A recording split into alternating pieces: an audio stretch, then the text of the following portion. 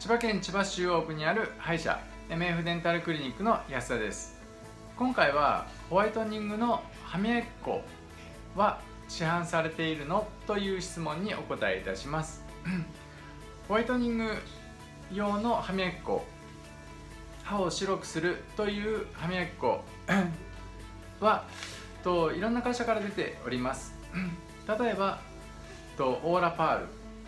ルやブリリアントモア。アパガード。など各種、うん、あ各社いろんな製品が出ております。ただ、うん、歯磨き粉でホワイトニングの効果をとがっつりと期待するのは少し 難しいかなと私の中では思っております。やはりホワイトニングはと事前にクリーニング、うん、着色歯石と汚れなどを取ってからお薬を染み込ませていくという、うん、手順で行いますので着色や歯石が歯磨き粉で落とすことはほぼ不可能なので